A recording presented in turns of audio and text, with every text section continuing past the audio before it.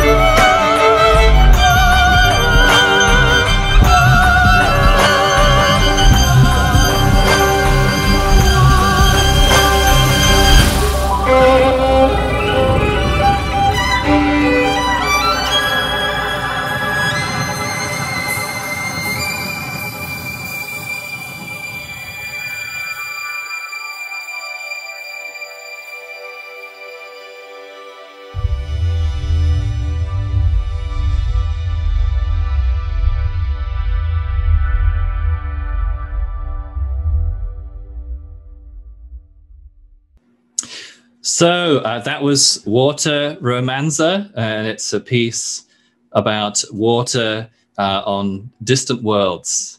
And the music video uh, featured, um, you can see myself there, um, Beth Sterling, soprano, and Amelia Sie. violinist. And it was created um, for a special streaming experience with the uh, uh, Science, Science Museum of Boston. So um, their animators did an incredible job. Uh, here's the album art uh, for that piece. Uh, so now that I've, I've, shown you some some music, um, I just want to introduce myself a little more. So I'm David Ibbett. I'm a composer with a passion for science. I'm guest composer at Fermilab, uh, which is a particle physics research at the heart of America. And I'm the director of Multiverse Concert Series. Uh, it's a non-profit we run out of Massachusetts, and we we create these concerts of music and science where musicians and scientists collaborate and uh, perform together and uh, discover the world together. Um, just show you the kinds of things that we like to do. Um, here is a project we did in the planetarium uh, in Boston, uh, Charles Hayden Planetarium, and you can see that the the inspiration is these uh, fluid dynamics patterns and they are drawn from the work of Dr. Irmgard Bischofberger of the MIT Fluids Lab. So I don't know if you can see the the, the image. Uh, that's directly from her research, and then the animators had a lot of fun turning it, colorizing it, and turning it into into video. And she's interested in mathematically modeling the behavior of fluids and the way that um, fluids will naturally form fractal patterns uh, as they disperse uh, with a certain amount of, of chaos. Uh, and these patterns are uh, at the heart of um, the way fluids behave, but also the way life behaves and grows. Our, our lungs, the branches of our lungs, are formed in a, a, similar way, and riverbeds. So there's a lot for for artists and composers to to dig into uh, in so many aspects of science and this is the core of my work. Here's another project we did um, a ballet called Cellular Dance about the uh, movements of cells, the concerted movements of cells, how they can move together despite not having um, a central nervous system yet in the embryo with Alexei Veraksa of UMass Boston. And we have a particle physics project about neutrinos with Fermilab. So that's just a, a few of the things. And you know, if I leave you with any message today, it's that uh, music and science and art uh, are kindred disciplines, and they have so many cross connections. And there's really so much to be done uh, by working with them together and and sharing them with you all. Uh, we like to do live events, uh, I should say, um, with families as well as uh, sort of concert goers, and of course. We haven't been able to do that so much recently. You all know why. Um, so we've adapted for streaming, and I'm thrilled to be here presenting a project um, over a distance. I'm uh, I'm in Burlington, Massachusetts, and it's uh, it's a sort of an English day, uh, overcast. That's where I'm originally from, uh, so it suits me very well. Uh, but we do want to get out to do live events again. I'm sure you all do too. So today I'm talking about exoplanet music, and the project is called Octave of Light and there are the three of us, the live musicians. So um, it's a concept album, and you just heard the first piece, Water Romanza, and I was I worked for a long time to create it with Roy Gould of uh, Harvard Smithsonian Astrophysics. There he is, he's a wonderful man, and here's his book uh, that uh, greatly inspired me, Universe in Creation, uh, and it has a lot of different. Um, observations about how our universe is finely tuned for life, uh, down to the, the sort of basic chemistry that gives rise to cells and sort of organic processes, and the fact that we live in an abundant universe of planets with plenty of them, uh, with Earth-like conditions for life as we know it, or perhaps uh, something we can't imagine. So he does a lot of work on exoplanets, and I thought I would just um, give you some exoplanet facts Let's see. Perhaps you already know these. In fact, I'm going to ask you some questions. So use the chat. Uh, I was born in 1985. Um, how many exoplanets had been discovered in 1985? Does anybody want to know or guess? 2,500? I can say that's off. 40. I've got quite a few correct answers. Yeah, it's um, zero. Uh, so, uh, as far as we knew, um, planets beyond our solar system were science fiction at that point. You know, it seemed likely, but we we didn't have any proof. Uh, the first exoplanet was discovered. Well, if anyone's uh, very bright, perhaps you'll know. 1992, and that was discovered. Uh, kind of an unusual method involving pulsars. Uh, but uh, how many exoplanets are known about today? Planets beyond our solar system. In fact, I checked this a few days ago, so it's possible that my answer is off by a few because uh, well, there's a hint. Anybody want to guess how many do we know about? Oh, we've got some very ambitious answers. We've got a few. Someone thinks a million. I, I I'm sure there are a million. The answer, uh, as of I think two days ago, it was four thousand three hundred and seventy nine. So that's pretty good, right? I mean, uh, in my lifetime, we've seen these discoveries, and it's clear that we're living in the middle of an exoplanet revolution. For the first time, we know that the universe is full of planets. And it seems almost every star has a planet. And here's a nice image from NASA um, showing. Um, in fact, this is uh, this is old. This is 2019. So what's that? Over 300 discovered since this image was made, and you can see there are big clusters discovered all at once with uh, different methods. Uh, so you know, the estimates for how many there might be out there are just ginormous. So I'm a composer. Uh, obviously, I'm, I'm passionate about science, but I'm not a trained scientist. So I want to celebrate science in my own way, uh, as I'm sure we all do. Um, so what can I do? Well, I have a tool at my disposal called sonification. And it just means representing data as sound. Um, human beings, we tend to prioritize visual when we're choosing a way to represent some numbers we we lean towards a graph or a chart. Um, but um, because of that, um, we, we, might not think of representing data through sound. And if we do that, sometimes it can show us new things about the information and reveal new relationships uh, between what's there. Because uh, we emphasize the visual, sound has this amazing ability to affect us subconsciously. I'm sure you've all had the experience where music has has reached you and moved you uh, in a way that you didn't expect uh, or weren't prepared for. It has this way to sneak in and uh, create emotion. Sonification is a tool. It's used in science uh, to help with research, and, but it can also be brought into musical composition and communicate emotionally. And that's what I enjoy doing. So, Octave of Light, uh, there's a sort of a core concept for how the album works, and I want to share it with you. So, here's a nice little movie from the European Space Agency. And this is showing, let's watch that again. This is showing how many exoplanets are discovered via the transit method. The problem with seeing exoplanets, and the reason it took so long to discover them, uh, is that they're they're so small, uh, just barely a dot, uh, and they're they're close to a star, which means that the light of the star uh, obscures them with a glare. Uh, so we have yet to sort of take a picture of an exoplanet directly. Instead, what you have to do is watch a star over time and the light of the star will dip as the planet goes across the surface. And you, you time that well, you can figure out the, uh, the period of the planet's orbit. And you can also um, get one of these, uh, this is a spectrum. Uh, is exactly what you get if you shine light into a prism or a rainbow. Uh, you take the, the light, or in this case it's the shadow, and you split it into colors.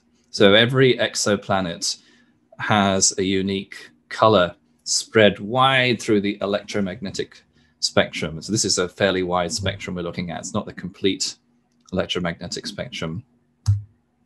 Um, and there are some issues with this because um, you can see sort of this. This is um, sort of visible colors, uh, sort of blue to red, and you'll see that there's some interesting stuff there. But there's a lot more interesting stuff uh, beyond what our eye could see in the infrared.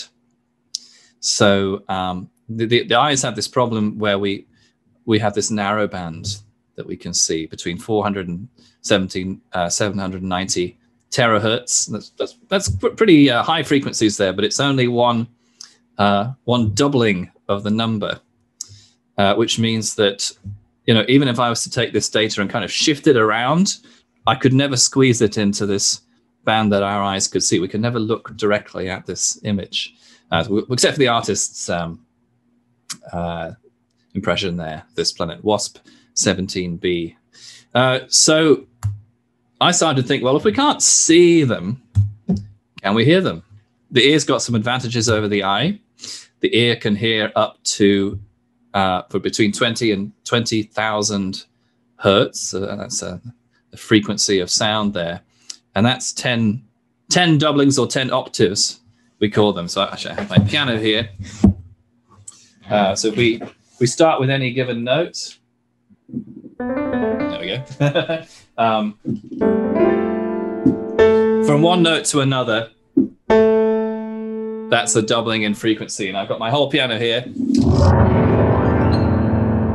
I've got about eight octaves there, uh, so that human hearing is even wider than my piano. So there's some potential there. Because light and sound are both waves, uh, they have these properties of wavelength uh, and, and frequency, which means that light frequencies can become musical notes, but we do have to slow them down a bit. Light frequencies are incredibly fast, much faster than, um, than sound. So we have to shift them down, uh, but um, we can fit a lot more in the space. So uh, we're back to where we started now. This is a spectrum uh, that it, I used to inspire the first piece, Water Romanza. And we can see that it has some interesting dips and troughs. And those are unique to water. We have found water on numerous exoplanets, and that's exciting because we know that water is crucial for life as we know it. And if I take the frequencies at these points and I transform them into sound, I can get a musical chord. So perhaps you'll recognize.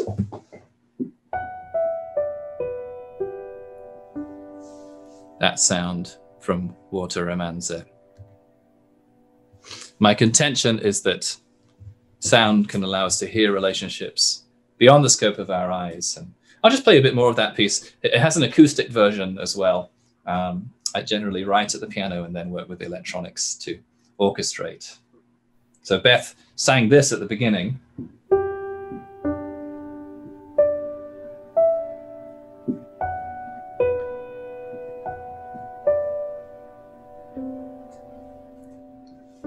Which is hopping around the spectrum there. So I, I uh, move around the peaks in an interesting order. And that gave rise to melody.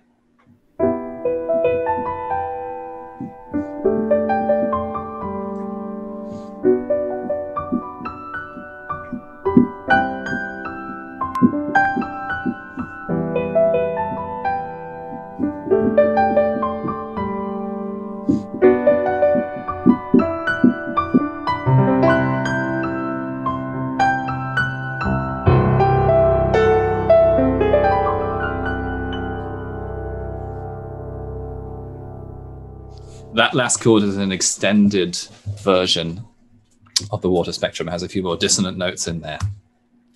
Okay, so there was the concept for the album. There's, uh, I'm happy to go over some of those steps if anyone's really interested in the details.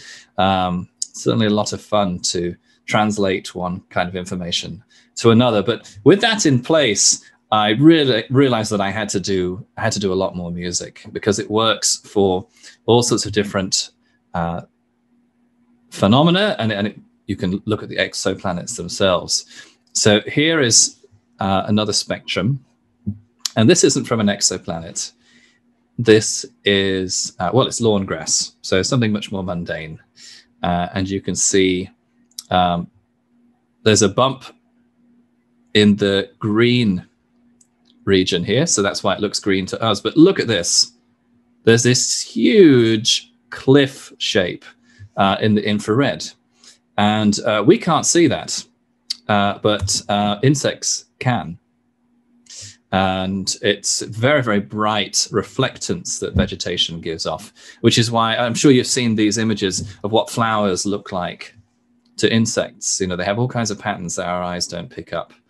Um, and, you know, if you look, um, you can see this reflectance uh, from space.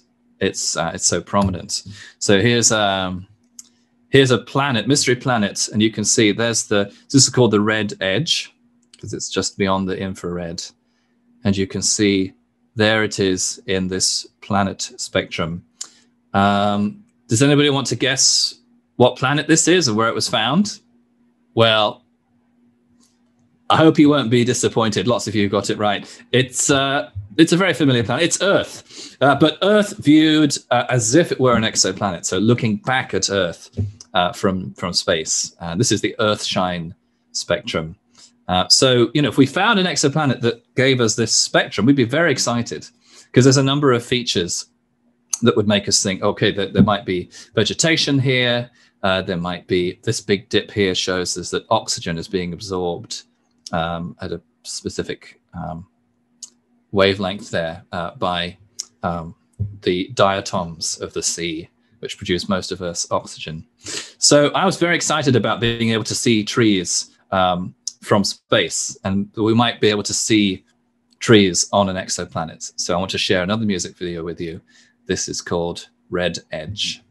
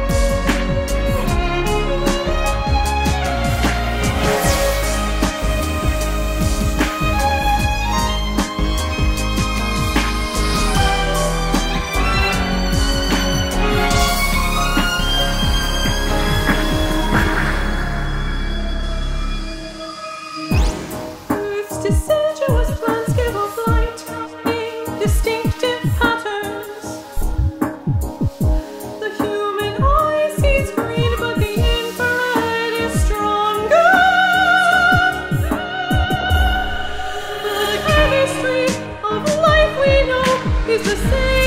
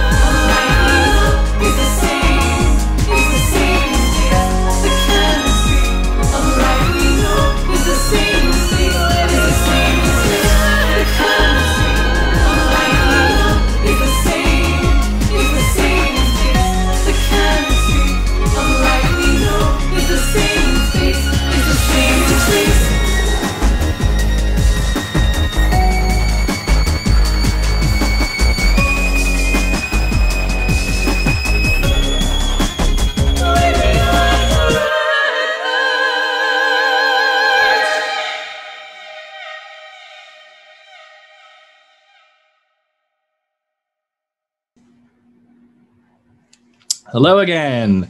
Uh, so uh, the wonderful Beth Sterling and Amelia Sie performing there, and that uh, fantastic alien vegetation created by the uh, the Boston uh, Planetarium, the Charles Hayden Planetarium, and uh, it's exciting that we might actually find this. you know, it is it's speculative. Um, but it's it's not out of reach, and we live in a, an amazing time of, of science. So uh, I'm gonna. I don't have time. I realized I'm uh, already running behind. So I'm gonna uh, just take a selection of of things from this project to share, and, and, so we have some time for questions. So I'll just I'll talk about this one, and you can listen to the music later if you like. Um, so this is a full exoplanet spectrum. So we, you know, we've looked at specific features. This is an entire uh, planetary spectrum, and it's the one we we looked at a while back. It's called uh, WASP 17b, bit of a mouthful. Stands for Wide Angle Survey of Planets. Um, System 17, second, the B, second planet from the sun. Uh, and it's a very nice one uh, to look at because we can attribute some of these dips to what is going on on the planet. So, oh, there we go. There's the chord. I'll play that in a sec. Uh, you get them. You get how it works now. Uh, so that uh, that really big dip there is light that's being absorbed by sodium uh, in the atmosphere of the planet as it passes um, across the planet, and that uh, if I light into sound gives us a B flat, and then we get potassium. You can see the presence there, and then three lines out of the water vapor spectrum. So we can split this spectrum apart and we learn uh, by comparing these dips to spectra that we can analyze in the lab what's going on on the planet just from a single dot of light. And this one, uh, this one unfortunately is, is sort of a big gas giant, so uh, not so suitable for life as we know it. Uh, but it's wonderful that we can we can know so much about it and it gives us all that all those notes together. You can hear the water in there, uh, but it has this tension, which I really love. Uh, so that we, we did a piece, Wanderers, about um, the frustration of being earthbound uh, um, while knowing so much about our universe.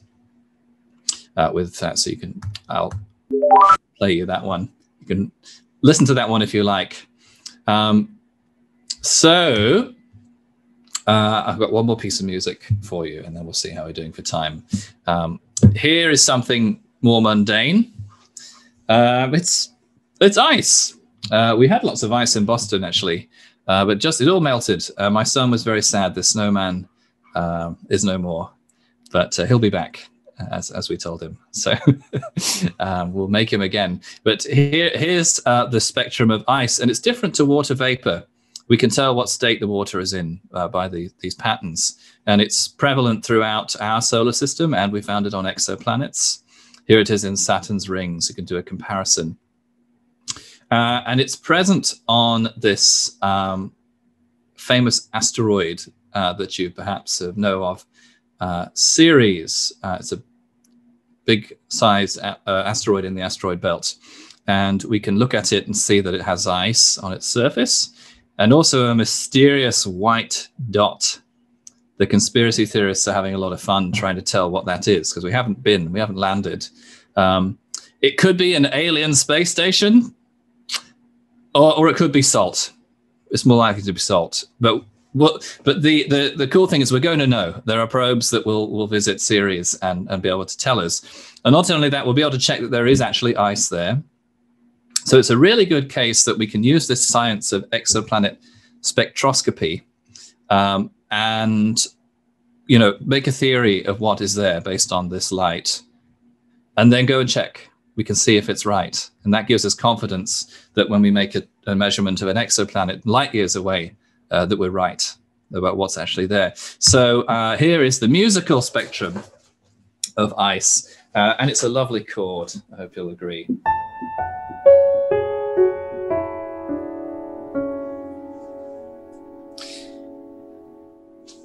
So I'm going to play something acoustic for you. Uh, just give me a second to uh, rewire myself here. Uh, this is a piece called Ceres. Here we go. Let's see a bit more of my music room here. Um, here is ice in our solar system and certainly beyond Ceres.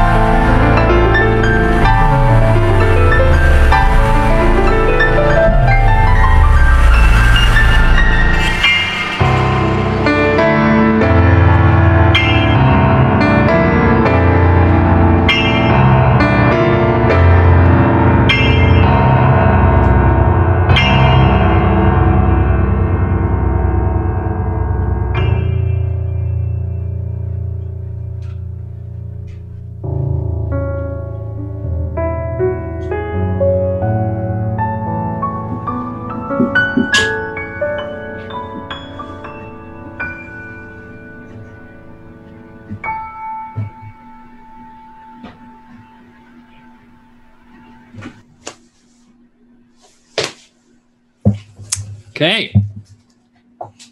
Thank you. I had a lot more. I will just wrap up then, and we'll go. I'm sure I'd, I'd love to hear from you if you have questions. Uh, I'll just I'll skip through just sort of the conclusion here. There's there's a lot more to the project, and well, there's more I want to do. So, uh, well, I wanted to show you uh, the final piece is all about life on other worlds, but you'll just have to hear that some other time. There we go. Uh, so, what what are we doing next? Well, Octave of Light was originally written when I started it.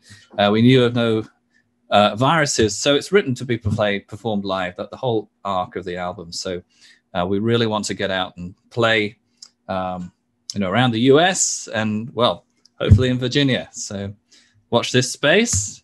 And um, I've learned a lot about exoplanet science doing this project. Um, I mean, I'm, I'm not a scientist, but I'm I'm very interested, and um, you you can be too. You know, n- none of the things I've shown are um, sort of secret knowledge. They're all out there, uh, and well, there are many levels beyond that. Uh, a good friend of mine, uh, Clara Sousa-Silva, uh, looks at a different signature that we can find on planets called um, well phosphine gas.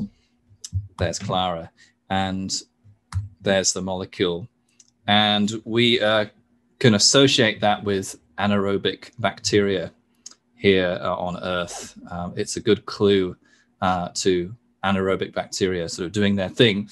And some of you might know that uh, this may have been found on our planetary neighbor of Venus. So this, I mean, this came out right as we were finishing up this project. This news is so exciting. Um, so you know, if it's if there are little microbes on Venus, they're probably everywhere. If we find a second instance of life, that probably means that it's it's it's common. We live in a, a fertile universe. And of course, there's more music to be made, which keep you busy. Uh, so uh, the whole project is online. Uh, the music is online. Uh, be, you can listen to it, download it, and you can, um, uh, if you want to support us and, and Multiverse and the kind of work we do, there are music videos for every piece that we're releasing. We're in the middle of releasing the music videos once every week on a Thursday night on our YouTube. So you can check that out. Uh, Multiverse does all kinds of projects, multiverseseries.org. We've got one on the 29th of January all about polymers, totally different project uh, with um, musical robotics, that one. And I've got a lot of people to thank for, for this project. Um, Beth Sterling, soprano, Amelia Sie, violin, Roy Gould, science, the visuals created by the staff of the Charles Hayden Planetarium at the Boston Museum of Science, Chuck Wilcox, Wade Sylvester, Heather Fairweather, Jason Fletcher. Uh, we kickstarted the project originally. Thank you to everyone who made this a reality. And of course, Jim Blow and the Science Museum of Virginia for hosting me. Uh, and with that, I think we've got a little bit of time for questions. All right, so we did have a question about uh, in the first video for the Water Romanza. What is that small keyboard instrument that you're playing? Uh, oh, it's not a keyboard. Do you know? Uh, hold on.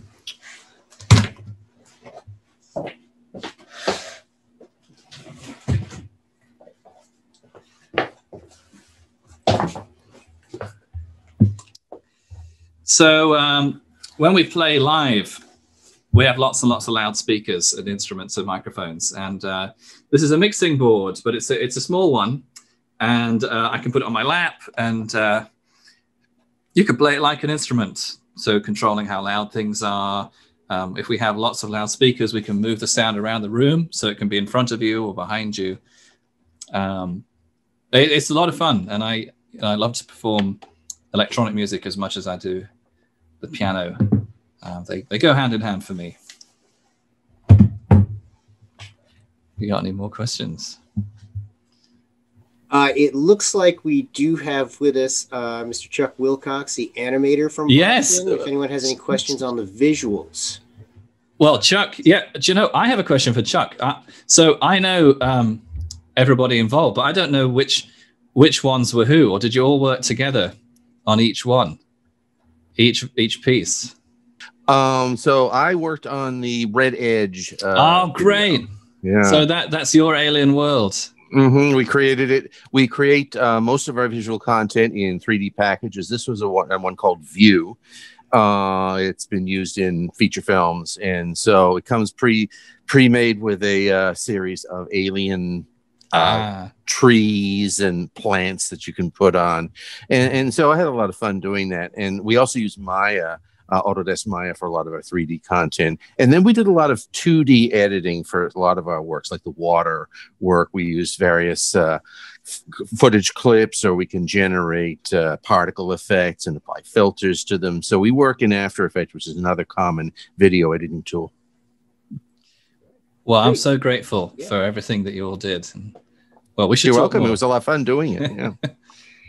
we should talk Uh, so we did have a couple other questions here in the chat. Uh, how would you describe the value of art and music for society?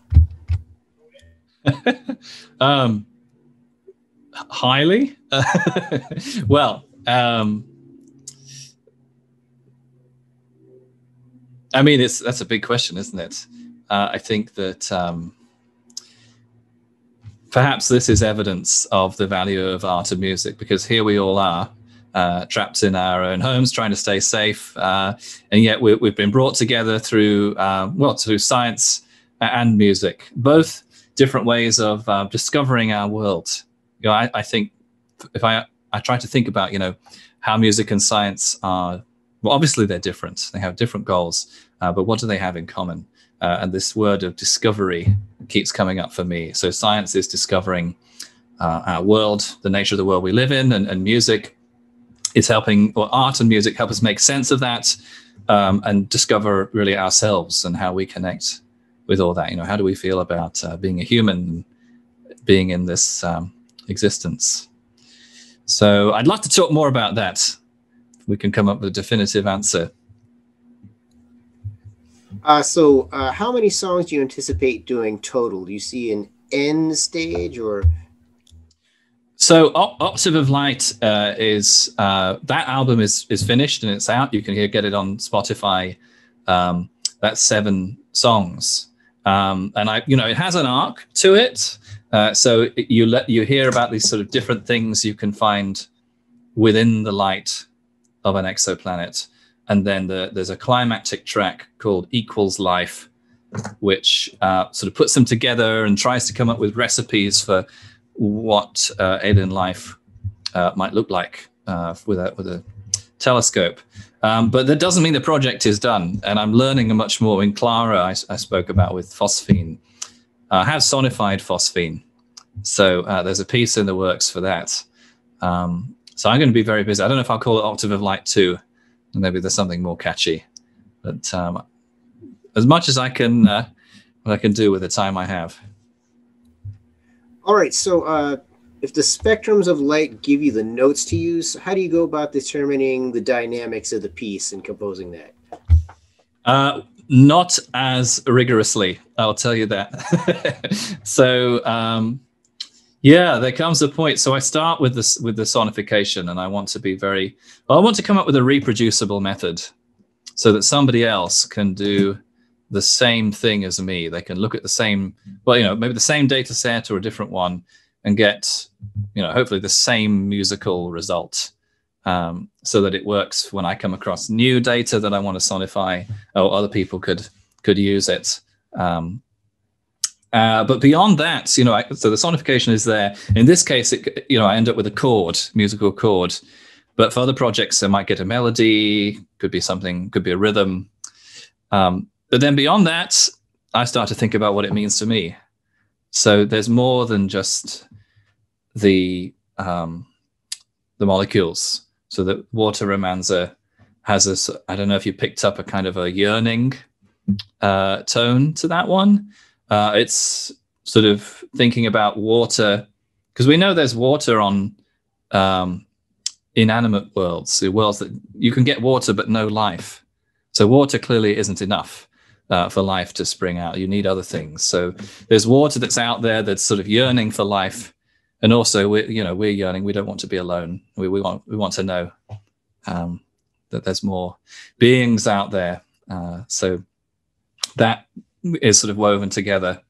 And each of the pieces you know i'm bringing in different perspectives on the science as well as the um, sort of the, the, molecule or the, the phenomenon and combine them together. I mean, I get to make my own choices for a while. And then I don't know if, if I'm sure many of you are artists and musicians as well. And you've all come across that point where it starts to write itself, whatever you're working on. You know, you do a lot of work at the beginning to set it up. But if you've done that right, it, it writes itself and you just follow the thread and you end up with something that uh, surprises you. Uh, at least it always surprises me. It's a shock sometimes. All right, so uh, we did have a question here. Uh, which alien world or exoplanet is your favorite? Well, I would say WASP 17b just because it's the one I've had the most fun with. Uh, that it's got this lovely uh, sort of combination of the, the, spectrums, and I got this jazzy chord out of it. Uh, so I sort of built a whole piece around that one. Or even though it's sort of a gas giant, sort of like a Jupiter planet. So um, I mean, there are there are sort of um, tales of, of planets where they rain glass, and you know, planets with uh, sort of multiple suns. I mean, these are all out there. So, um, you know, and follow the news. You know, um, uh, Reddit Space is a good channel. I mean, there are lots of communities of, of people out there just um, analyzing the data from from telescopes, and there's exoplanet news just every few days about things that we've discovered. And now is the time to learn um, what's out there, and there are going to be some amazing things um, the next months and years for sure. All right, I don't see anything else in the chat, so we'll go ahead and bring it to a close. Uh, thank you all for joining us today. Thank you, Dr. Ibbett, for helping us discover more about our world. Uh, so please join us next week, Wednesday, January 6th at noon. We are going to have with us Colonel Buzz Carpenter, United States Air Force retired and he's going to be presenting Fighting the Cold War at 85,000 feet. If you've been to the Science Museum, you know that we have uh, in our speed gallery, we have our SR 71 Blackbird uh, displayed suspended from the ceiling, the only one in the world dis- that's uh, displayed this way. Uh, and Colonel Carpenter was actually uh, an SR 71 pilot, and he'll be talking about what it was like to fly that iconic aircraft during the Cold War. Uh, so you can register for next week's talk at smv.org. Each talk is free to attend. It's open to the first 300 registrants.